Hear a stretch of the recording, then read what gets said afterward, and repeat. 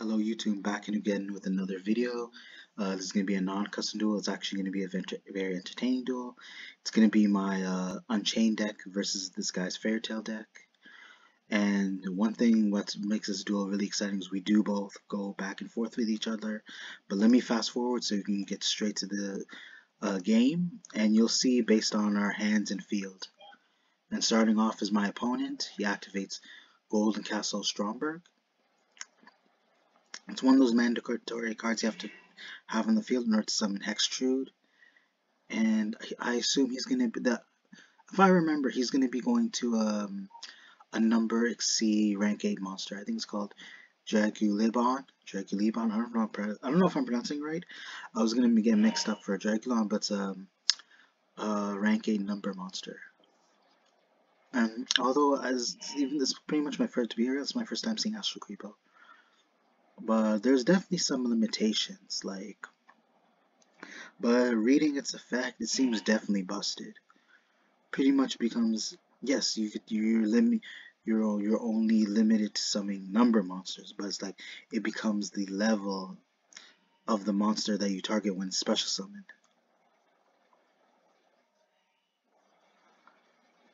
So my bad. No I misread that.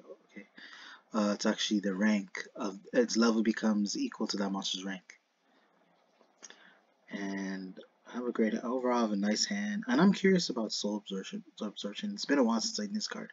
I know the card's effect is just you normally don't see this card in a lot of decks. It's not not that it's unusual, but it's one of those cards that just happens to be a dead weight, and you want to add more space to more consistent cards or uh, clutch cards. But either way, I use Abomination's Prison to add one of my Unchained monsters, and which is Aruha, popping the trap, which will trigger the trap's effect, allowing me to special summon an Unchained monster from my deck. And I do understand he will be getting like pretty much 5,000 because he's to bench 10. And then uh, let me go back to Sarama here. So I, re I set the trap that I just destroyed, and then pop Aruha, and Ruha will effect will resolve will trigger, allowing to summon a chain monster from my deck, similar to Abominable Chamber. Let me so yeah, and then I'll go to Rakea.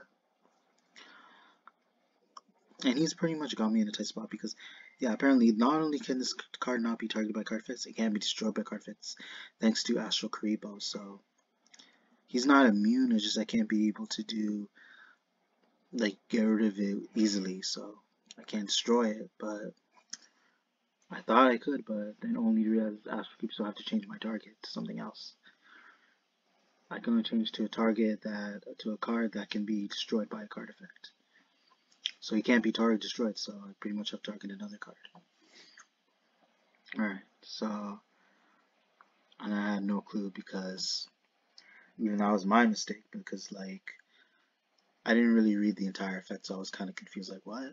Even if it's literally cannot be targeted, but with Kuriboh uh, attached, it's like, okay, I understand, I get it. Uh, I pretty much have to uh, accept, so I'll destroy something else. Let me fast forward here, it's his turn. Now I'm guessing he's going to special summon a number from his extra deck to the field. I let him know that he's in the clear. So even if he attacks my Rakea, it's not really a loss because I can I I can manage to summon another Unchained monster from my deck. So I'll still I'll still be getting more monsters on my field because even though I'm even though he's stacking monsters on my game, I still get more monsters out. Uh, it's gonna take a while. All right, he's gonna be going for Harbinger. All right, he's gonna be going for Hope Harbinger, and then to Numeron Dragon. I personally was getting confused as to how he summoned it, but Draglubion has a pretty confusing effect. And he's going to wipe out my field with uh, Numeron's effect. Uh, not in my entire field, just my monsters.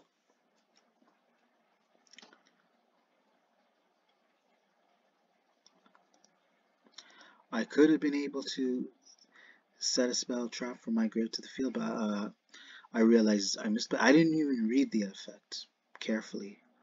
I'm pretty sure I would have been allowed to do that. But I was like, I thought it only applied to him or something.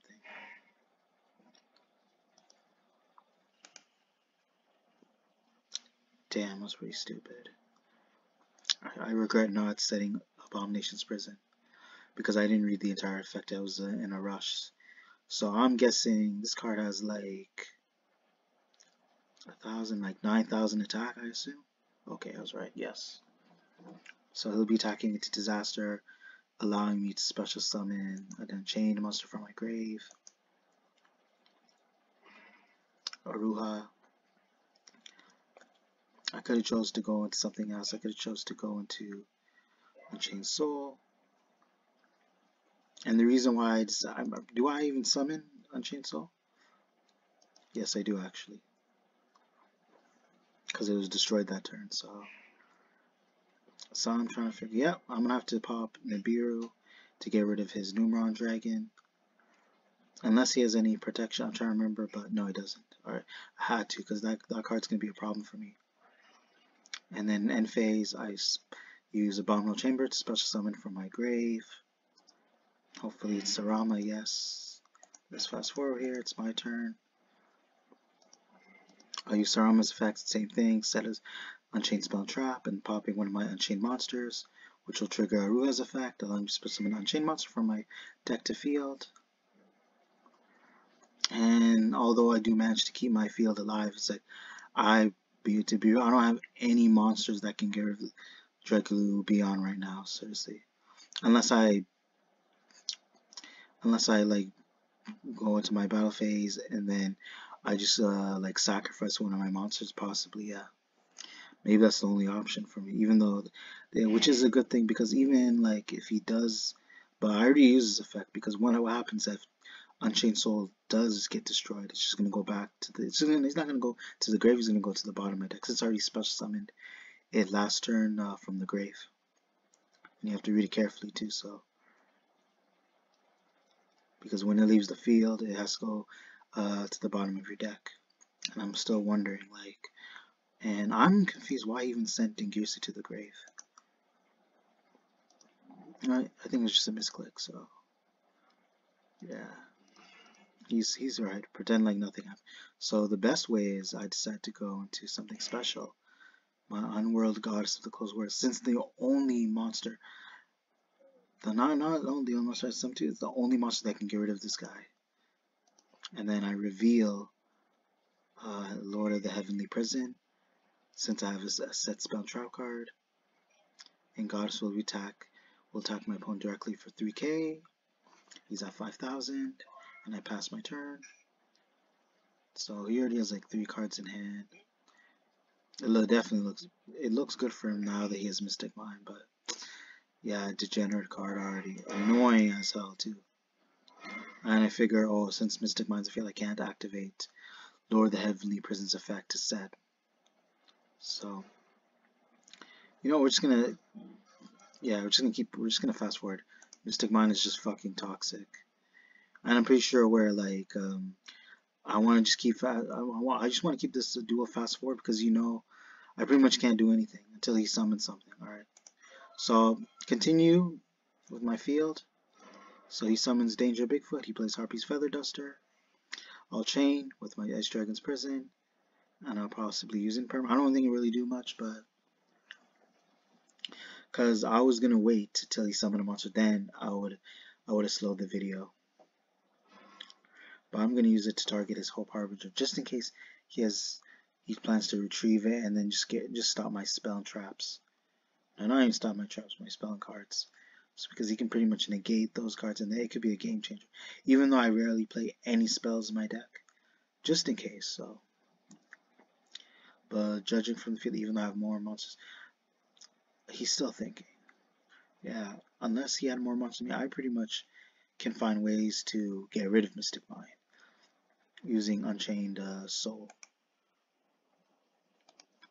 But right now, I'm gonna have to play carefully. I already have like three monsters with already 3k, two with 3k attack, one with 3k defense. So I'm I'm pretty I'm pretty comfortable with my field so far. Unless he has Raigeki, he has Super Poly. I had no clue that he even had that card, so. But again, let me fast forward here. So he will be playing it for Mudragon. I'm assuming he got rid of two of my monsters. Alright. And lucky for me, I have Ash on my field. Comes in clutch. Because he would have potentially found another way to summon into another strong monster, go into possibly a, another rank 8. So I don't want to take that chance for sure. So he's stuck with Bigfoot and Mudragon the Swamp. I'm going to fast forward to set a card. I'll use Aruha's effect, same thing. You know the drill. Let's fast forward. Triggers its effect. And then I assume, okay, um, so what he did was he used Mudragon's effect. So he declares an attribute and neither player, I'm assuming, or yeah, um, I cannot target monsters with the same attribute as this card, which is really irritating. So, and he he did admit defeat, but although it didn't really, honestly, I, I didn't, I didn't, it, it was definitely a really close duel. It was definitely a fun duel. But I felt like it was a draw in my opinion because he said he had to go, like, just by reading the chat. But honestly, it could I don't know if it would could have went both ways, possibly, but he still had this out on the field, so he can match summon something, so he could defeat normal. But he would deck out for sure. But like I I feel like I had the bigger advantages, the amount of monsters I had, and the set uh, trap cards, and the one in my hand. So just in your in the comment section, I, I'm curious about how you guys feel about this duel, whether it's great, and who could have possibly won? It could, could have been me or my opponent. And if you do, uh, for sure, I'll obviously uh, do find ways to uh, be sure to showcase you more exciting duels like this one. Although there was no result, the, yeah, he did, he did leave. Although yes, he did leave the duel. So you could say I pretty much won in this scenario because although he had to go, yeah, we, we would love to see the final results. We want to see how the, the duel would have turned out at the end. But again, I felt like I had the upper hand considering the life points and the monsters. Like you, you saw the field, you can you can tell the difference. You can notice the uh, advantage right now. But unless he somehow manages to turn turn the tide and drew in something that something uh, un, unthinkable, like something that I couldn't imagine, like, and if hoping that I would win next turn or my next turn, whatever. Then I was, I was, uh, I was, I became way too eager. I got too cocky, and I should have. You should always wait until the last card is drawn, just like Jaden Yuki says. And again, I hope you guys enjoyed the duel. Be sure to check for more upcoming content later in the future. Be sure to check your notifications, comment, like, subscribe. Thank you.